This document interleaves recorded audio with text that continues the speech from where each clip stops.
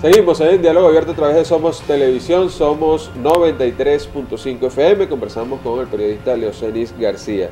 Leocenis, los poderes en Venezuela, Asamblea Nacional Constituyente, Asamblea Nacional.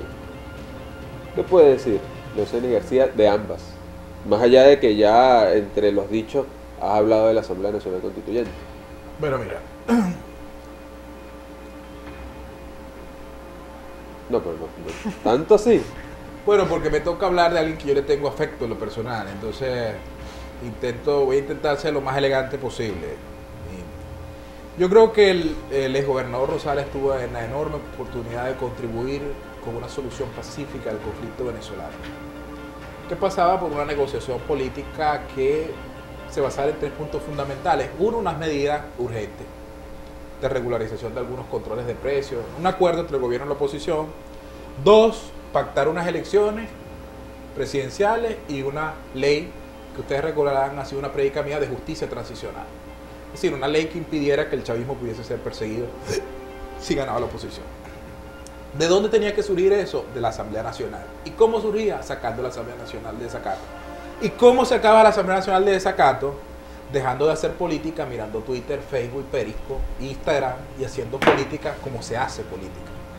Entonces, el gobernador Rosales creo que hizo política mirando Facebook, Twitter y decidió una cosa contradictoria, que era poner a una persona eh, totalmente ajena a las negociaciones, sin ningún reconocimiento en el gobierno, ni en el país, ni en la oposición, que fue el doctor Omar Barbosa, que es una persona respetable, pero que desencaja en el momento, y sacrificó a Timoteo Zambrano, que era el candidato natural para ser presidente de la Asamblea Nacional. Estoy seguro, pero como decía mi, abuela, mi hijo, llantos después de muerto, lamento, no voy a decir cómo decía ella, pero vamos a poner de bobo. Entonces, ya quejarse sobre ese tema, pero lo cierto es que si Timoteo Zambrano fuera presidente de la Asamblea Nacional, estoy seguro se hubiese resolvido, resuelto, rectifico, el tema del el desacato, tuviésemos una Asamblea Nacional eh, eh, que ejercería plenamente, se hubiese pactado ponerle fin a la Asamblea Nacional Constituyente, que el gobierno eh, volviera a la Asamblea, discutir una justicia transicional que salía de la Asamblea Nacional, pero todo este juego enorme, este, el gobernador Rosales decidió echarlo al pipote de la basura y puso a Omar Barbosa, que es como poner las piedras debajo del río y el río pasa sin que nada pase.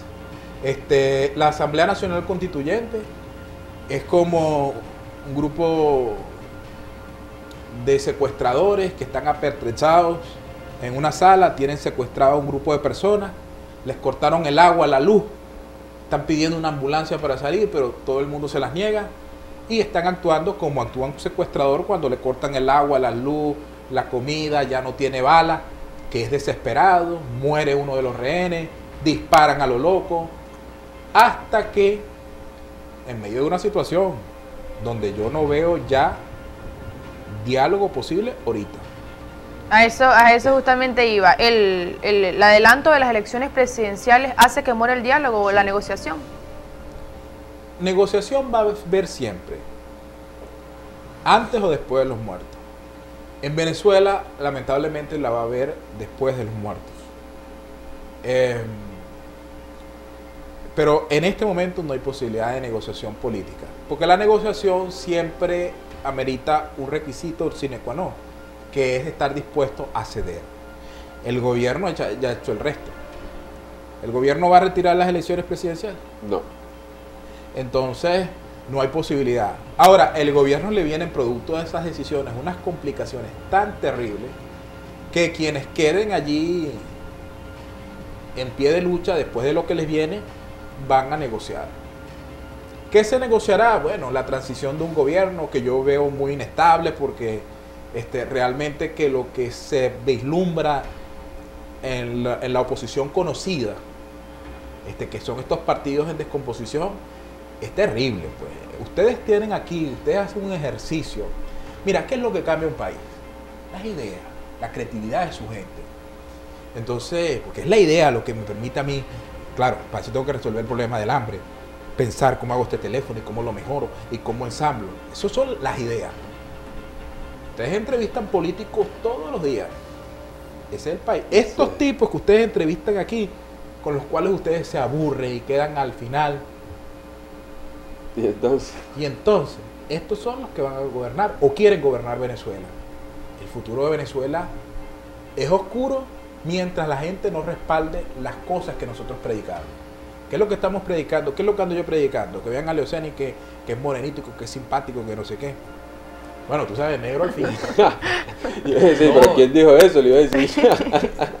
Yo lo que digo es que es este proyecto de país. Y este proyecto de país es una cosa distinta. La gente se está entusiasmando, sí. Yo veo que Pro Ciudadanos va creciendo muchísimo. Veo también que eh, hay gente, nosotros hemos tenido conversaciones en las últimas horas con varios diputados de la Asamblea Nacional y algunos dirigentes de otros partidos que se quieren venir con Pro Ciudadanos.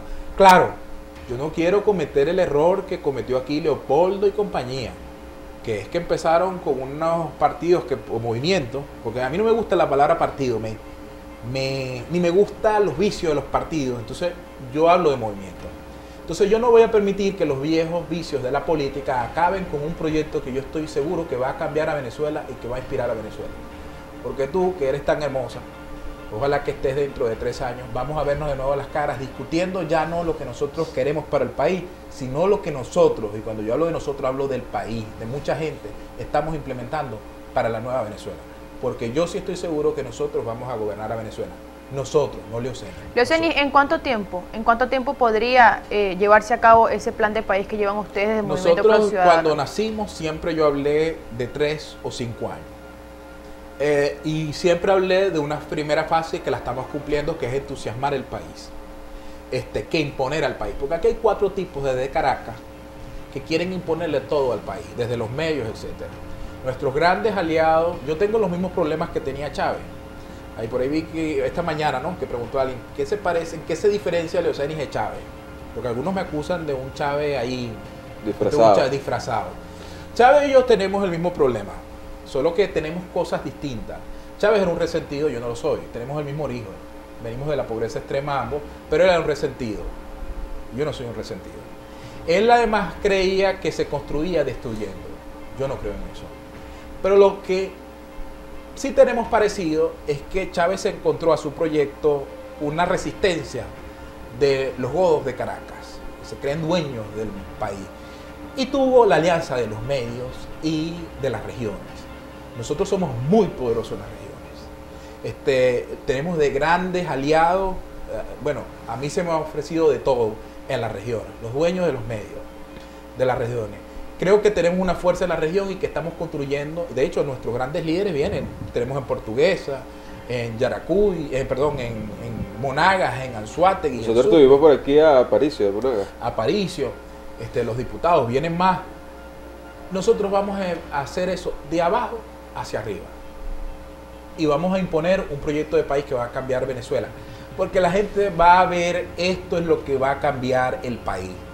Y va a votar porque nosotros queremos que estas elecciones, tú lo has dicho muy bien, Leoceni no se puede, nosotros queremos que estas elecciones se voten, que estas ideas se voten, pero no queremos que un tipo lo vote como el salvador de la patria. No, queremos que estas ideas sean alcaldes, que estas ideas sean gobernadores, que sean diputados, que haya leyes. Es un- y para eso tú necesitas construir una fuerza poderosa. Conversamos con Leocenis García, vamos a enlazarnos con Venezolana de Televisión, allí habla Diosdado Cabello, luego regresamos con nuestro invitado.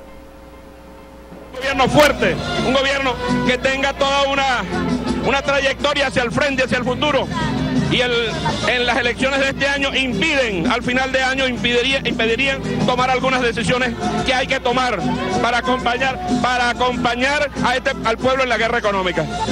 Decisiones para favorecer a todo el pueblo, pero hay que tomarlas con toda la fortaleza que sea necesario. Por eso llamamos a las elecciones, por eso llamamos a que se cumpla lo que está establecido. El que tenga su partido presente su candidato, nosotros presentaremos nuestro candidato a las elecciones. está condicionada por las sanciones de la Unión Europea. No, no está condicionada. Recuerda que este año tocan elecciones presidenciales. Lo que estamos es proponiendo, así como se hicieron las elecciones a gobernadores, elecciones a, a- a- alcaldes, nosotros estamos proponiendo elecciones presidenciales. Lo que sí es cierto que ante las sanciones nosotros convocamos elecciones, le damos lecciones de democracia a los que nos acusan, a los que nos acusan que aquí en Venezuela no hay democracia. ¿Cómo que han decidido adelantarlas? Estaban previstas para diciembre, ¿por qué adelantarlas antes del 30 de abril entonces? No, nadie, las pre- la- nadie le puso fecha en diciembre. No es verdad. Las elecciones son en el 2018, pero nadie dice que sean en diciembre. Puede ser en cualquier momento del 2018. ¿Cómo queda el proceso de diálogo justamente cuando vemos la negativa de la derecha venezolana que avanza en el diálogo, pero de la noche a la mañana se echan para atrás? ¿Qué orden le dan sus jefes imperialistas? ¿Qué van a hacer ellos? Si participan, no participan, si siguen el diálogo. Uno no sabe qué va a responder la derecha hasta que es el imperialismo el que responde por ellos, el que le da las órdenes. Proponiendo como mediador, Francia, primer vicepresidente, se está proponiendo como mediador. ¿Mediador en qué, perdona? De. No, pero es que tiene, es donde debe haber un diálogo. Ojalá el gobierno francés, la embajada francesa, que les gusta meterse en muchas cosas a los, a los países del mundo, propongan un diálogo dentro de la oposición para que ellos se pongan de acuerdo y le hablen al país con una sola voz. Es la oposición la que no se pone de acuerdo y en su desespero y sus peleas internas quieren llevar a toda Venezuela. La primera línea a cumplir ante esta propuesta de elecciones presidenciales para este primer cu- cuatrimestre. La primera línea, ya en asambleas populares en toda Venezuela para elegir a nuestro candidato, para que nuestro candidato lleve la legitimidad desde el pueblo, desde abajo. Nosotros no tenemos duda que vamos a llevar un solo candidato. Se ha fortalecido el chavismo en las últimas tres elecciones. ¿Cuáles son las expectativas? Que vea, nosotros vamos a unas elecciones confiados en un pueblo consciente, en un pueblo que no se deja engañar y que no se deja manipular. Mira, con toda la guerra económica, con todos los ataques, con todos los bloqueos, con todas las agresiones, ahí está un pueblo digno que les ha dado lecciones a nosotros y a la derecha, pero sobre todo a la derecha y al mundo. ¿Cuándo vamos a saber la fecha exacta? Depende del CNE. El CNE determinará la fecha de acuerdo a los lapsos que ellos tengan establecidos para cumplir con todo el cronograma electoral. Pero tiene que ser antes del día 30 de abril. Bueno, ahí entonces hay que esperar por el Consejo Nacional Electoral para que diga la fecha con exactitud, según lo que dijo allí Diosdado Cabello. Leoceris, hablábamos de, de que ambos bandos políticos o los bandos políticos que existen, que tú nombraste, están divorciados con el pueblo. Pero escuchábamos allí Diosdado Cabello y de cada cuatro palabras era el pueblo. Decía cuatro palabras y nombraba al pueblo. Decía cuatro palabras y nombraba al pueblo. Sí, está bien, que llenen la avenida Bolívar, pues. No tienen pueblo. Este es un gobierno, este es un gobierno de redes clientelares. Esta es una revolución sin campesinos, sin estudiantes, sin nada. Mira, porque esto ya no es un país, ni el presidente es un presidente. El presidente es un cacique, para no usar la palabra que y no meter en problemas al canal. ¿Por qué? Muy bien. Mira, busca un solo. Yo estoy haciendo, pidiendo en, en el estado Lara, que esta es que es mi primera visita a un estado este año. De aquí vamos a Carabobo, Aragua. Em, búscate un solo video del presidente Nicolás Maduro sacando la constitución y diciendo, dentro de la constitución todo, fuera de la constitución nada. No vas a encontrar un solo video de Maduro haciendo eso. Búsquelo. No hay. ¿Por qué? Porque cuando tú tienes un país, tú necesitas la ley cumplir la ley, la norma, garantías, etcétera. Pero cuando tú tienes una aldea y tú eres un cacique de turno, fuera de la constitución todo, dentro de la constitución nada. Entonces ya la constitución la guardaron. Y por eso pueden llamar a unas elecciones sin observación, sin garantía, sin auditoría, sin saber quién es la empresa y el software que va a estar en ese proceso electoral. Porque ya la ley aquí no, aquí no hay ley. Si hubiese ley, Oscar Pérez estuviese vivo y detenido en una cárcel militar. Si hubiese ley, este,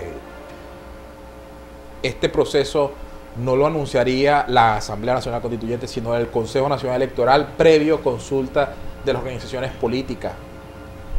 Porque una elección presidencial es un acuerdo de país, no de un grupo. Entonces, entonces el problema de Venezuela es muy complejo. Nos escuchan a través de Somos 93.5 FM, nos ven a través de las pantallas de Somos Televisión. Leocenis García, periodista y líder de Movimiento Pro Ciudadano, es nuestro invitado de hoy. Hacemos una pausa y regresamos con la parte final de nuestro programa por el día de hoy.